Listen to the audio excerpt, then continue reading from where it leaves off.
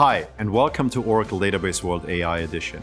My name is Gerald Venzl, and today I will be showing how you can enable your apps to leverage AI to provide smart business answers. Now, before we jump right in, let's take a quick look at what AI actually means. While artificial intelligence is the automation of intelligent behavior through machine learning to enable machines to perceive their environment and take actions that maximize their chances of achieving defined goals with the aim of performing tasks typically associated with human intelligence. Often, what you hear these days is vectors and vector databases. Now, how do we actually get to vectors? How do we generate vectors? Well, you will keep hearing about embedding models. An embedding model is a type of machine learning model used to encode data as vectors. Using these embedding models, vectors can then be compared for similarity. And hence you can encode real world entities such as an apple or banana or an apple and an airplane and compare how far apart they are. And again, the closer they are or the closer the distance of those, the more similar those real world entities are.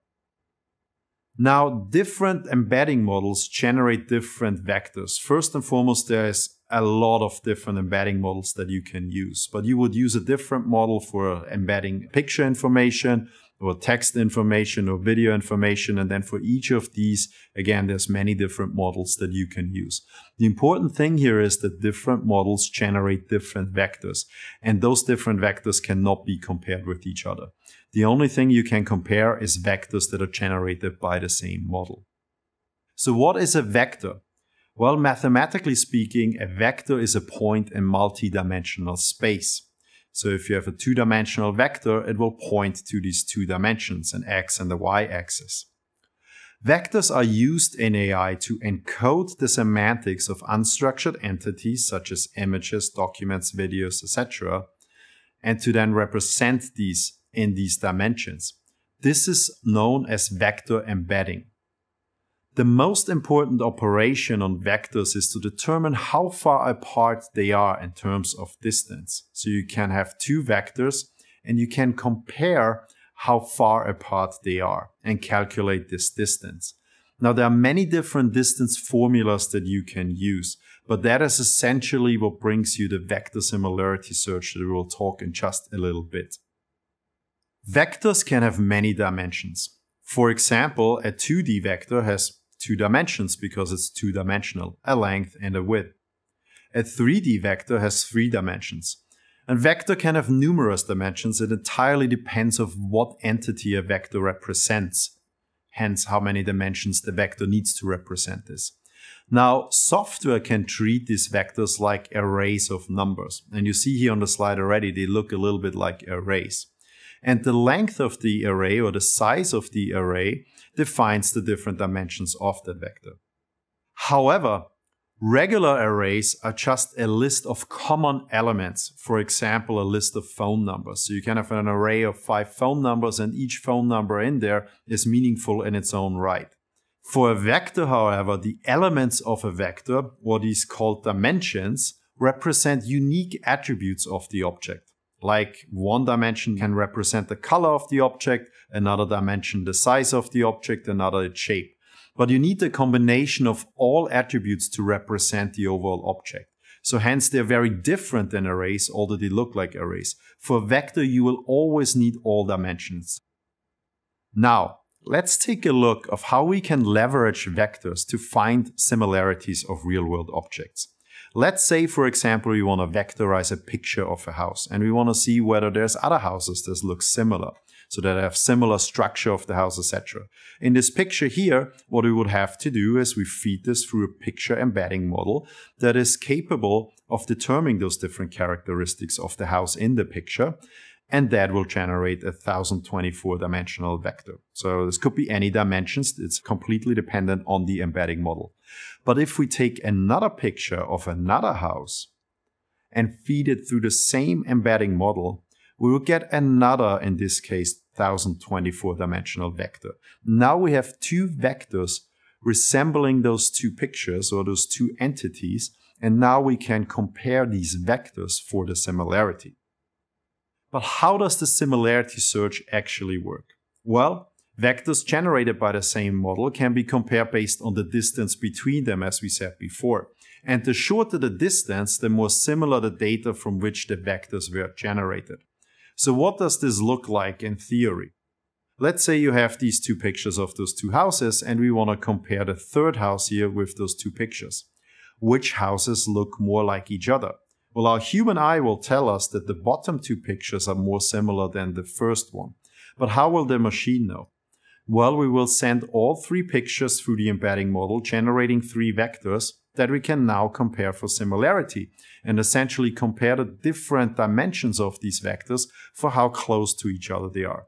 Now, this is a very simplistic high level view of what's happening behind the scenes, and what's happening is very different. But let's just take a quick example at the first two dimensions and what this could look like theoretically. So we take those three vectors representing those three houses, and we look at the first two dimensions. So we put an x and a y axis here, and now we put these vectors on that x and y axis.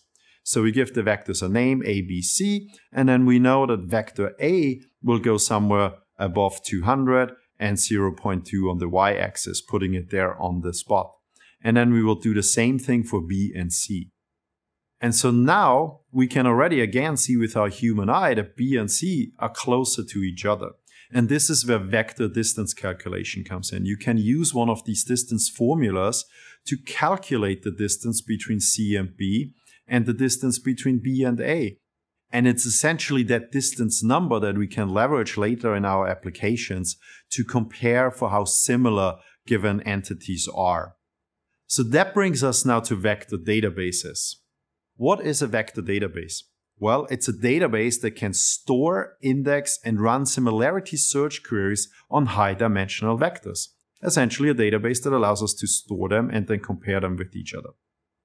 Now, there are many single purpose databases out there and add ons to existing databases that you have probably already come across. But before we go there, let's take a quick look at a practical example of how we may use vectorization and similarity search in applications. So let's say we have here an example of a mobile app that we use to buy houses. The user can essentially upload a picture of a house style he or she likes, and then the app will find houses that look similar. Now we know already how we can embed pictures into a vector and then do similarity search. So one approach would be the app takes a picture that the user provides, runs it through a picture embedding model, and then does a similarity search on that picture to find other houses that look similar. And of course, the application would find houses, for example, in the Bay Area. But because we are only comparing the likelihood of the house, we will find houses all over the country that also look similar, which is probably not what the user wants. Because the user wants to buy a new house and probably has other parameters or data points of where this house should be and how much he can afford. So buying a house requires these additional data points, which are usually referred to as business data. So how would that look like? Well, if we want to make sure that we only find a house that is in the Bay Area and that the user can afford, we need a couple of different items. We need, of course, the house and what it should look like. So we saw this already as the vector from the picture that the user takes. But then we need location data. Where should that house be? And that could be, for example, location data from the current address. The user doesn't want to move across the country. And last but not least, how much can the user afford or is willing to afford? What's the budget? And that could be information from bank account or financial information from the user. And only if you combine these three elements will you find a house that is actually satisfactory to the user. So you can see here that the combination of business data and vector data is crucial to actually produce meaningful results for the user. Now, how do we bring business data and vector data together so that we can find the answer we are looking for? Well, single purpose vector databases take a snapshot of your business data, vectorize that, and then do similarity search on the business data and other vector data.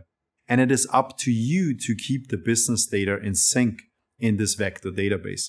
Now, why is that important? Well, because your business data, of course, can change. For example, your budget may go up or down. You want to send that new information to your vector database so that it can give accurate answers.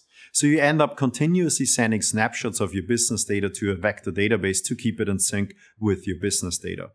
Furthermore, the business data that is relevant to the question that the user asks can vary widely. So, for example, if the user wants to now ask, well, where should I go on vacation? You may need an entire different set of business data to answer that question. Your budget for a house buying is no longer applicable, but maybe you want to find something else where, for example, the user can go on vacation where there's a special deal going on. And again, it's because you cannot predict these questions from a user. You essentially end up sending lots or all business data to your vector database so that you can answer pretty much all questions that could possibly be asked by a human being. Now, here's another important aspect. Single purpose vector databases are not good at searching business data, nor are they good at securing business data you essentially send a lot of potentially sensitive information to your vector database that then vectorizes that data and now is exposed as vectors in the database. But whether it's still secured or whether you can easily search on just these business questions that only require the business data, no, you cannot because that information is now there as vectors. Now, we believe it's a better solution to add vector search to your business data rather than sending your business data to your vector database. Not only enables you that to use business data and vector data when answering questions, but it also removes the need for moving or synchronizing this business data with your vector database or keeping multiple copies, securing it, and so forth. Let's look at an example what this looks like. So starting with Oracle Database 23 AI, you can create columns of type vector. And you can, for example, here add a new vector column to your houses for sales table. Now we can use the vector distance function to compare these stored vectors with an input vector. So if the user comes and says, please find me the top 10 houses similar to this picture, that picture can be vectorized via an embedding, and then we calculate the distance to all the other vectors that we have in the table. And because we have seen that the distance is a number representing the distance of those vectors, we can order by that and that just fetch the first 10 rows, knowing that the first 10 results are the ones that are the most similar. Now, the important aspect here is there's no machine learning expertise required every developer out there can leverage vector AI search within minutes because it's just exposed via a simple SQL command or function. Furthermore, we can combine that with business data with additional where clauses such as the customer's budget and preferred city.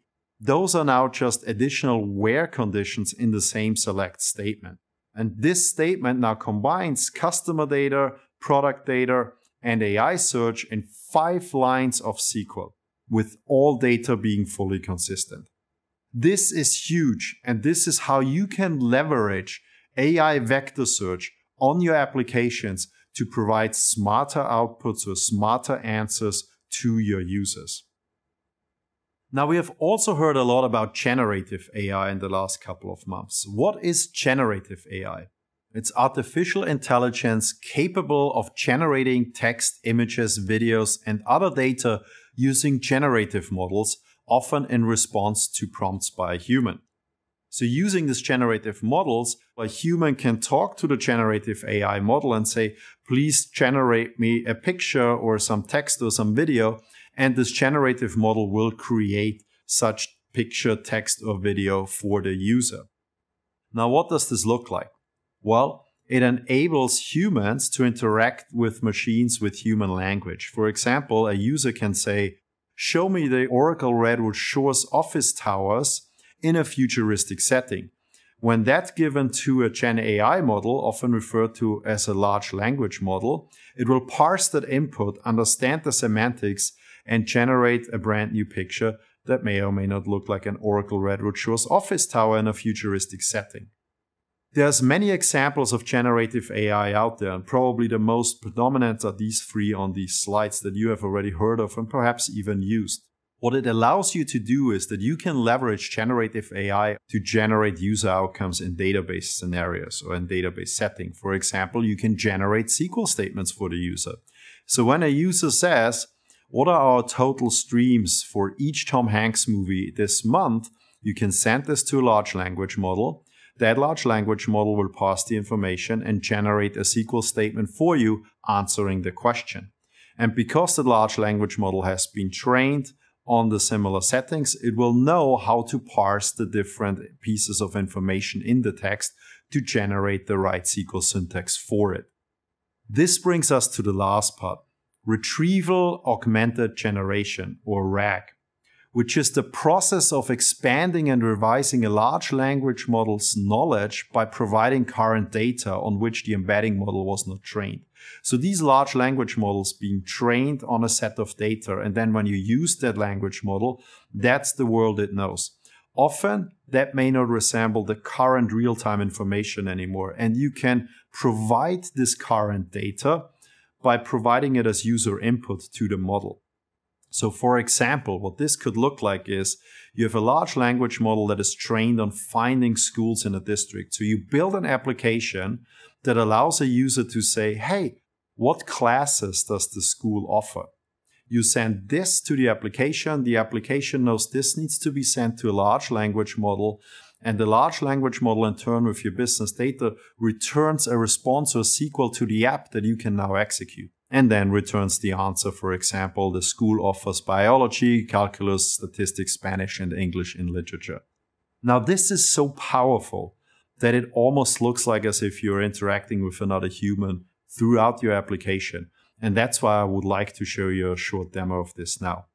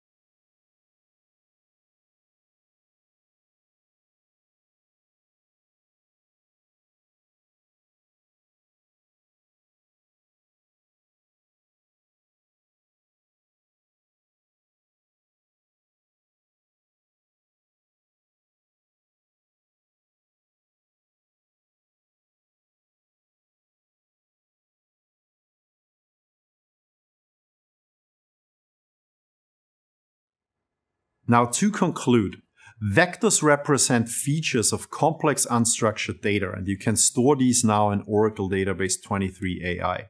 Embedding models convert input data to vectors. Again, you can leverage Oracle Database 23 AI to have vector embeddings or to execute these embedding models on your data that you have in your database. Vector search find similar data based on the distance between corresponding vectors. We have seen examples of how you can use that in SQL. Generative AI uses embedding models to generate new data with similar characteristics. So you give the model an input and it will generate your new output for it, such as your text that will generate SQL statements. And retrieval augmented generation expands the embedding model knowledge with current data.